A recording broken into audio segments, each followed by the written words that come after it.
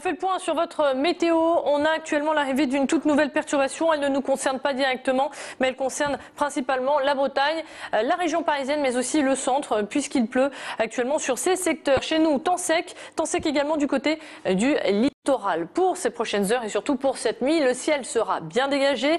Les températures iront jusqu'à 11 degrés de Fâche-Tuménil jusqu'à Armentières. Demain matin, on aura le retour du soleil. Très belle matinée ensoleillée, 19 degrés pour euh, démarrer la journée.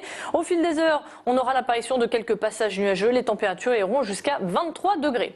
Vos prévisions pour les jours prochains, on aura un ciel assez gris pour la journée de mercredi avec des températures qui resteront stables. En revanche, jeudi, vous pourrez ressortir vos lunettes de soleil. On aura euh, du beau temps. Très belle journée en perspective avec une hausse du mercure. À noter 28 degrés quand même. Attendu pour jeudi, des températures euh, qui vont baisser euh, dès le lendemain, puisque vendredi, on aura à peine 16 degrés le matin et 21 degrés pour les maximales. Demain, nous fêterons les Maxence. Ne les oubliez pas, en ce mardi 26 juin.